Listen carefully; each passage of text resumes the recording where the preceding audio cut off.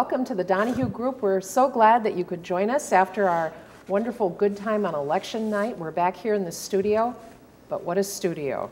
Before we go into that, let me introduce our wonderful panel members. Former State Senator Cal Potter, who could not be with us on election night, but now is all rested up and really raring to go. He's partying with the governors. Sure. there you go. Um, Tom Pineski, professor at uh, uh, UW Sheboygan in mathematics. Ken Risto, social studies person for the Sheboygan Area School District. I can't even try to get it correct anymore. Coordinate, no, not- I can't. You're the coordinator of social No, studies, No, I'm a curriculum and assessment specialist, curriculum and assessment specialist for as opposed to a general practitioner. uh, the Sheboygan Area School District. My name is Mary Lynn Donohue. I'm a lawyer here in town, and we're in this beautiful set. Chestnuts roasting on an open fire. hmm Pretty wreath, Christmas tree.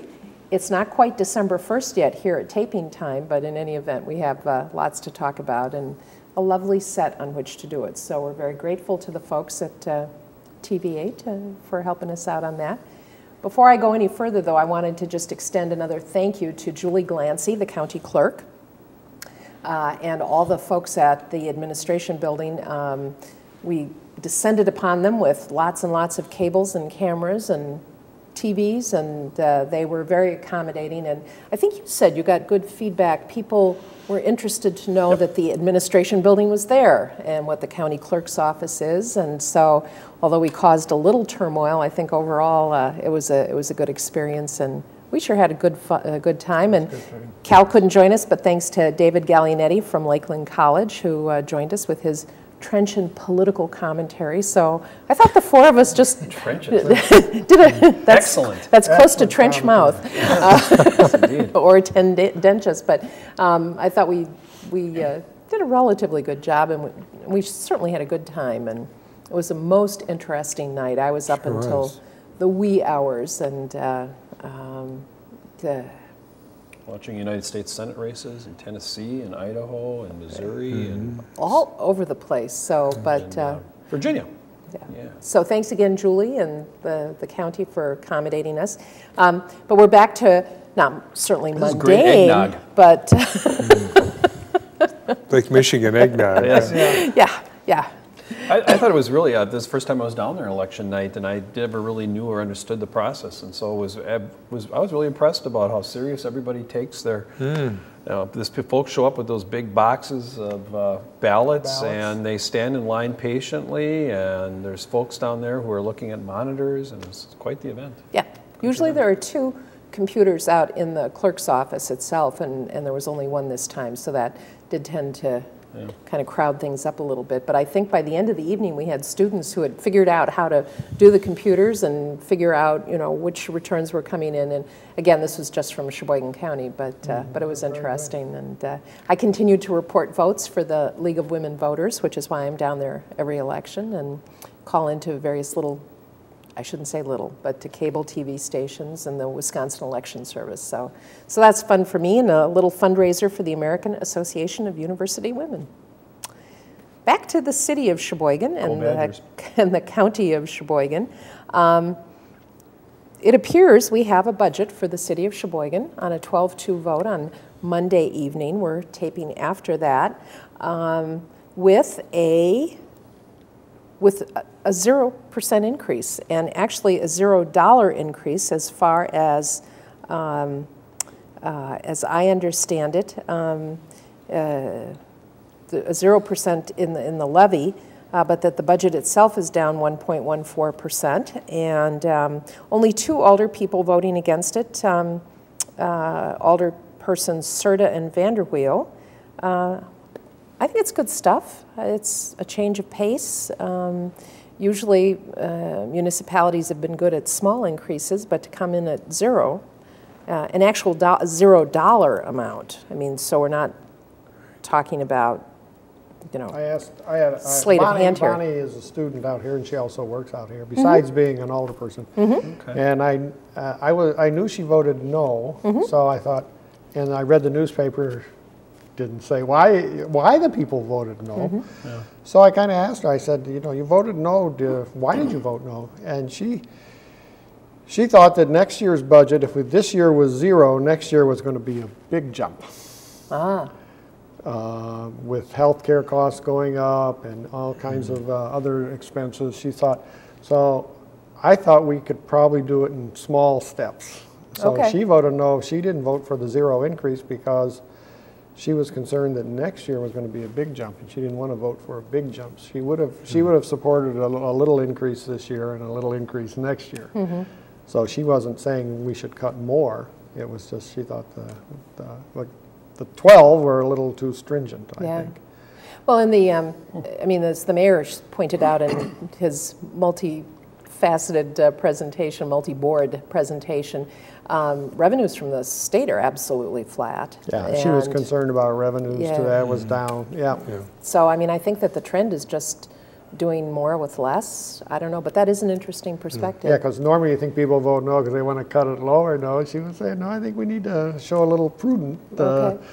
prudent behavior and do it in small steps instead of nothing this year and next year, bingo. big I did not watch the, I did not watch the meeting. Did she say what uh, Silas Vanderwheely's uh, No, uh, no, rationale was? no. Okay. I, di- I didn't see the meeting either. I just asked her. No, I don't know what uh, Silas's uh, Mm-hmm. rationale was.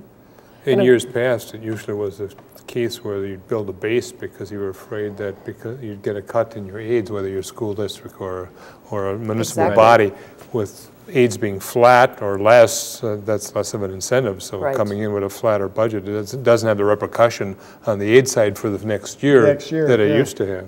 Well, I remember when I was on the school board, it was, we were considered to be downright financially irresponsible if we didn't, if we didn't increase to the, base. the, the, the base, because Sure. that was how the, the state was, was uh, awarding, uh, uh, awarding uh, its uh, aid. So, And she was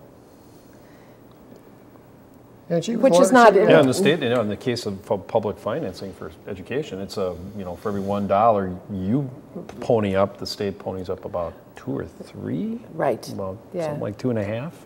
Well, So you're right, there's an incentive to um, spend the max. spend, spend to the, within the cap limit, right? Yeah. Which is easy enough to do. I mean, It is, it is. So the police department, the fire department, and public works, they'll, they'll, according to the past budget, will get along with the same budget that they had this year. Well, Which is a actually, cut. Chief Kirk said they had a cut of $534,000. Um, And uh, Alderman Berg, actually, uh, Eldenberg uh, introduced an amendment uh, to uh, increase the, the uh, police department budget only by 158,000, so it could hire two more officers. Um, I understand that was a long debate, uh, over an hour, but uh, eventually failed on an eight to six uh, vote. Um, uh, Alderman Boren apparently said, you know, if, to the police, if you're only paying 2.5% of your premiums toward the cost of your health insurance premiums, if you paid a little bit more, you'd have that money, and um, I don't know. Yeah, that, I think that was, that's, I heard the same argument, that uh, maybe the, the uh, protective services ought to pay a little more towards their health insurance costs. Yeah. And that's happening in all cities. Well, I know Budgets this- are growing tight. Yeah. Well, I know in the school district now, I don't know now, when I left, administrators were paying 5%, and I think there was a push to, to increase that percentage. What is it for teachers now, do you know? I really don't look at, when I was single, I was paying absolutely nothing Okay, for my health insurance.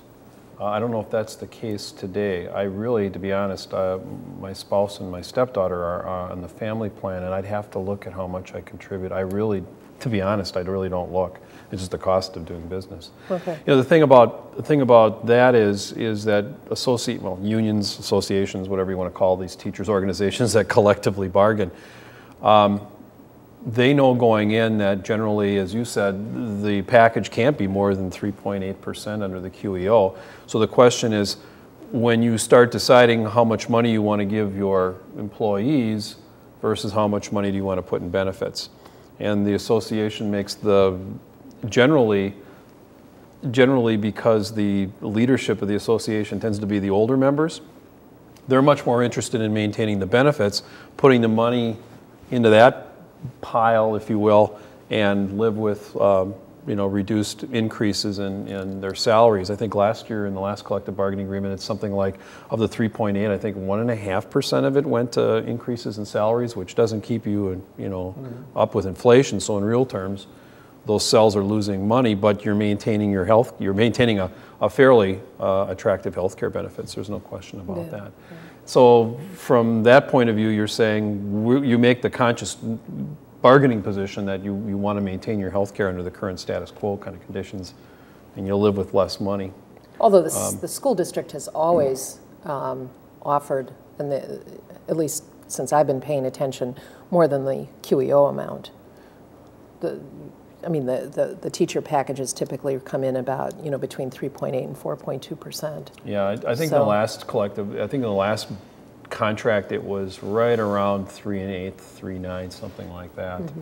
something along those lines. Yeah. Um, you know, it's, it's, it's kind of odd, you know, when you, when you look at the cells, um, I found an old teacher contract from 1969 in my file someplace, not me, I didn't start that early, but I actually indexed it for inflation and I found that the teachers in real terms are getting paid more in 1969 than they are now.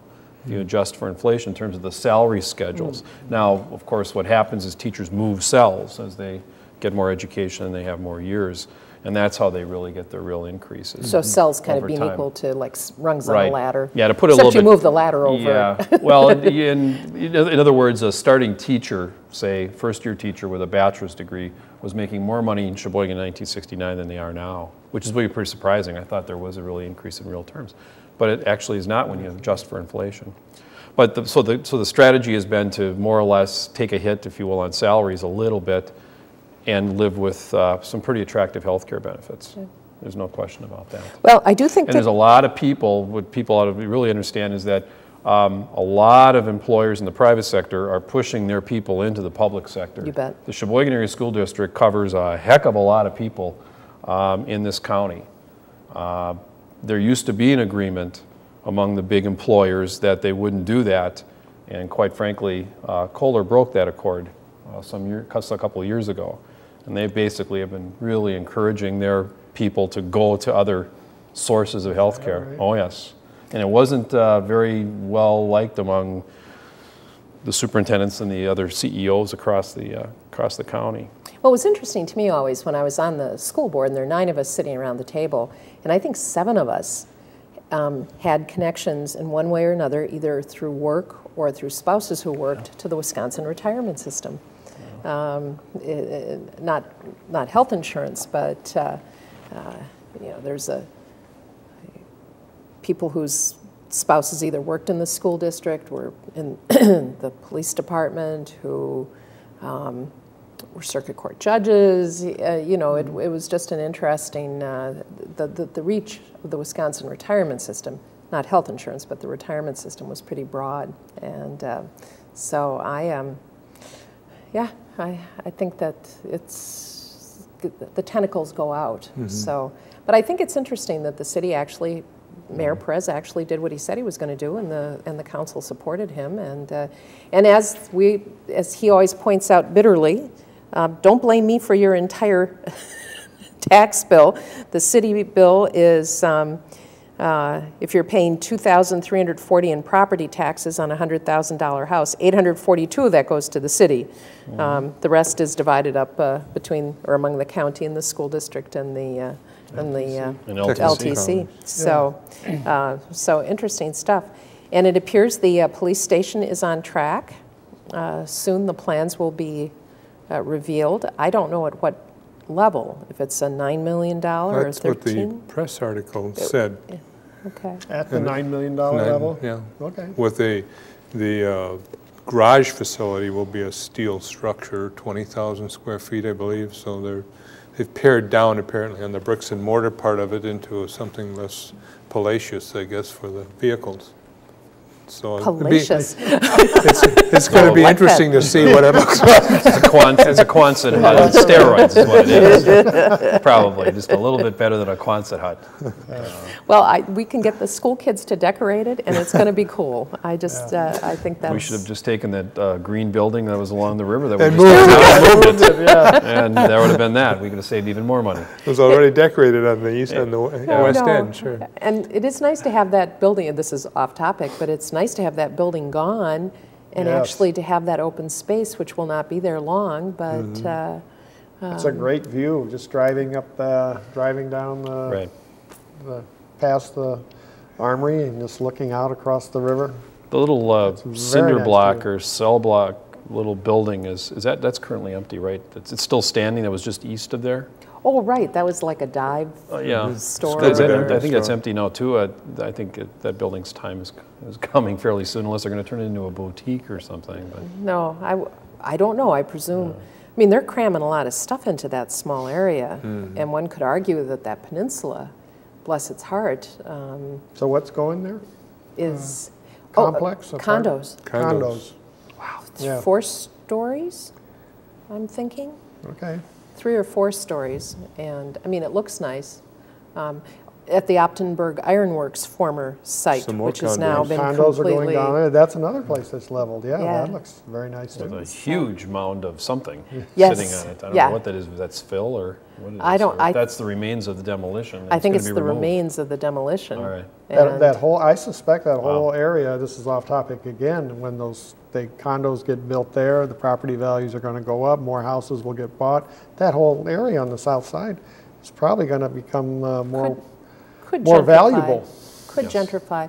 Part of the problem, I think, is that uh, Sheboygan, it's not a problem, but Sheboygan Paper Box, I think, has made a clear determination to stay in that area.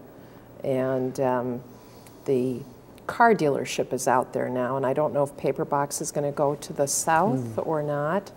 And um, I'm getting a nod from uh, our fact checker that that is the case. And, uh, The word on the street is, the word behind the camera. These guys just serve multiple roles here. We just love it.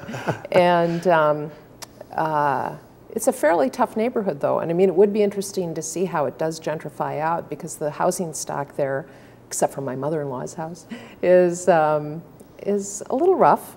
And that area has always been a good Democratic area, you know, for, for votes. But, uh, but uh, got a nice school there now, Longfellow. That's Nice- true. Yeah, it's true. yeah. So we'll see what happens, but uh, in any event, uh, and Where on, were we? Yeah. on the Donohue Group, we're never off Off topic. so, so that's good to know. The tax base is expanding. Well, that's it. I'm amazed at the amount of, I'll head back where, I'm amazed at the amount of condominium Well, the development. Rice is- building, Is in the Rice building. I'm, yeah, I'm looking straight, th- right through it now. there isn't much left of Yeah, it. they've got it right down to the girders and the flooring, and, uh, but I'm just amazed at the amount of, of condo stock um, that we're going to be having and. And these are not cheap sustainable. places. Not Yeah. cheap places. In fact, the apartment building that's right in that corner of, um, of Lakeshore Drive and, and Indiana Avenue, it used to be an apartment complex, and they've completely renovated that, and that's condominiums as well, just east of Arabella's. So Well, I'm sure they've done a amazed. demographic analysis. You know, Yeah. the post-war baby boom is, is Mm-hmm. starting to retire, and as a result, you're going to see folks who don't want to dr- drive far, and being downtown And is why where We're wouldn't it's gonna at. get a restaurant, I can ride by the bridge. Right. Is Yeah. that what we're gonna get Yeah. to? Yeah, But it's this going to be a sounds like Highland house. yeah, this sounds like a, the coffee clutch around my mother-in-law's table. Yeah, yeah, and so, Yeah, and so now, what's going I'd be surprised though how many people really don't know what's, uh, they know they see construction going on, but they're really not quite sure what it all, what it is all about. Sure. I had a But- couple people who thought they were just, that Optenberg was just rebuilding and they were going to, it's just needed a bit Yeah. different building, a newer building. Yeah, boy, that was one tough, uh, one tough-looking uh, Yeah. factory site there. So it was a foundry. Yeah, well, it was too bad that it went under because it was owner worker owned there for at least For a a while, short sure. period of time, and Yep. so it's kind of sad to see its demise. But the police station is finally going ahead, and um, so we'll see how that uh, that works out. I just wanted to spend a, a little bit of time talking about just in terms of election results, and we'll be talking about state issues and maybe even hit on a few national uh, topics in our next episode. But um, Sheboygan County again uh, comes out as being very, uh, very conservative.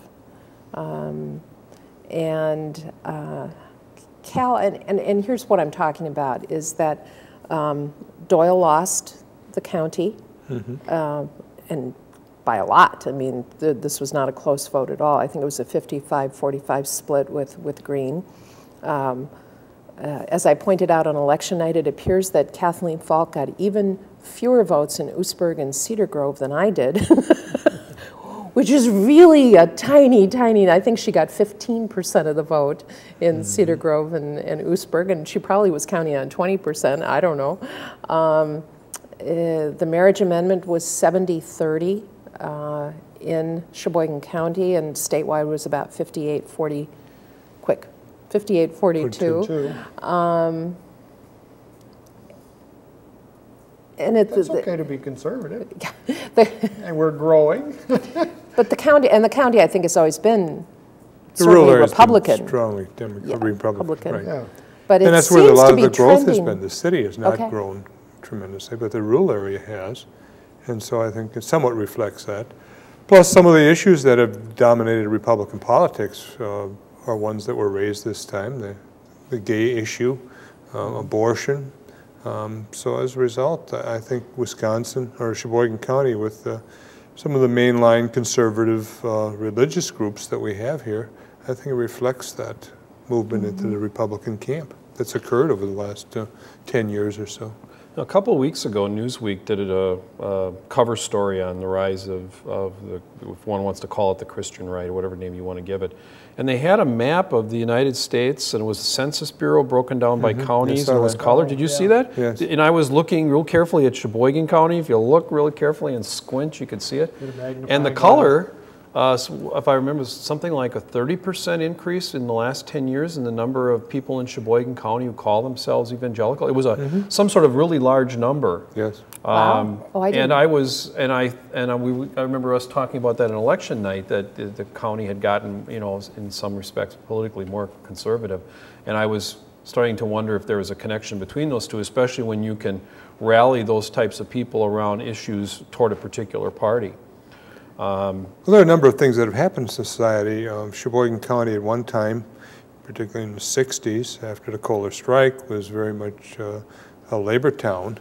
And uh, organized labor, the zenith of organized labor uh, was about 1968, when about 39% of the workforce was unionized. Uh, Today, it's about 16%, the majority of which are AFSCME and teacher unions. Exactly. So the private sector unionization, which, which used to have a lot of political clout at one time, uh, dictating sort of endorsed candidates, particularly Democrats, um, has, has hit the skids.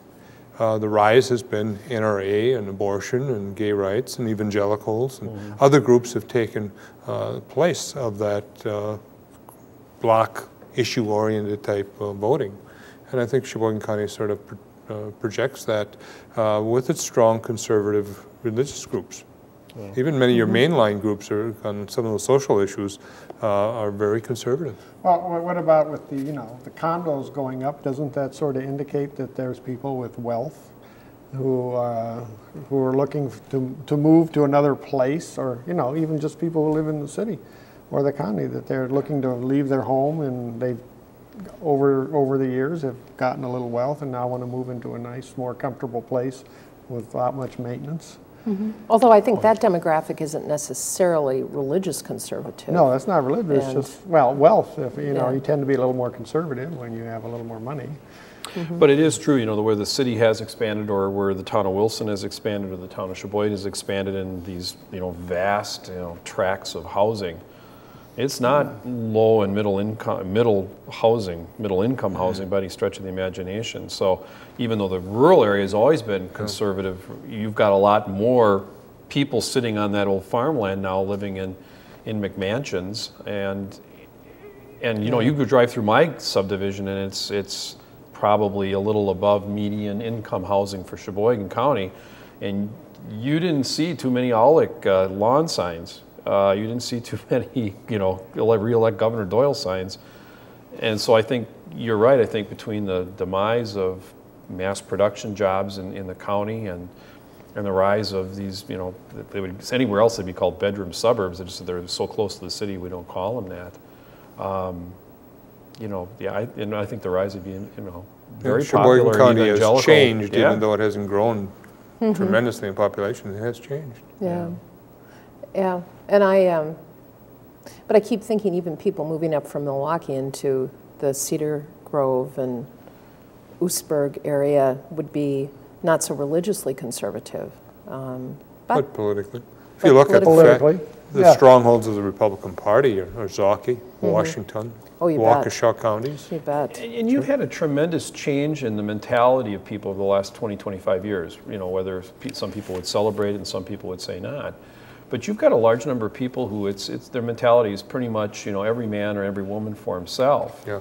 And when you live in a suburb, you don't really need a lot of social programs, and you don't really need a whole lot of police protection, and you don't really need a whole, you know, fire protection's nice to have. And you don't mind, you know, maybe somebody picks up my garbage, or I hire somebody to pick up my. Mm-hmm. The need for government, and you don't need a public park because you're in the deck in the backyard, and you don't really need public parks because you're going to the private tennis courts. That you, you know, there really isn't a, a perceived understanding that the functions of government are something I really want to pay for, and I can probably get by with a lot less government services. And I think there's an attitude of, of individual responsibility towards each other has changed too. I think the attitude of the 1960s and the Great Society and, and Kennedy Johnson years. Um, today, uh, there's a lot, I think it's reflective in some of the scandals we've had with Enron and so on, is I've got mine, if you don't have yours, what's wrong with you? Why didn't you grab yours and Yeah. get it any way you can? Not so much whether your, your wealth is obscene and, and what you're doing to your employers and their retirement fund is a crime.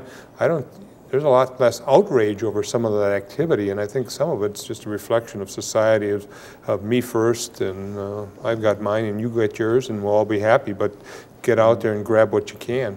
Well, that, so that just, uh, just to bring it back a little bit, um, Terry Van Akkeren won 72% of the vote against Job Hou-Seye.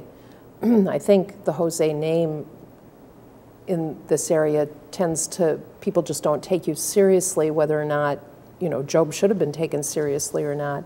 He certainly hurt himself, I think, with just some fairly extreme ads and, and, and so forth that I think in general didn't play well with the populace. But does Terry Van Akkeren, if he has a strong uh, Republican opponent, does he have trouble even in the city? I mean, I just wonder. He's been gifted with Got- some fairly easy opponents, and um, I mean, got big trouble. I just wonder. I would be very nervous and I'd be very careful about votes and, and I would hope that the governor, he better hope that the governor is able to solve some of the budget problems which are enormous uh, without hurting constituents too much. I don't know how he does that, but um, like I said, you know, two elections ago when we talked about this before, you know, he had a, a very vigorous, young, thoughtful uh, Kurt Zempel who was only was a newcomer and that was a pretty tight race for Sheboygan. And I think, yeah, I think, you know, Job Hou-Seye made some comments, you know, the radio ad plus the, you know, you, know, you, you can't run on the family values and talk about the, you know, your opponent being a veto whore. It just doesn't, there's a little cognitive dissonance with that. Mm-hmm. And I, and I know a lot of people who all of a sudden paid attention, like, who's this guy? Yeah. What's he all about? Well, on that happy note, we'll wrap up, and there'll always be more to talk about in Sheboygan. Thanks for joining us.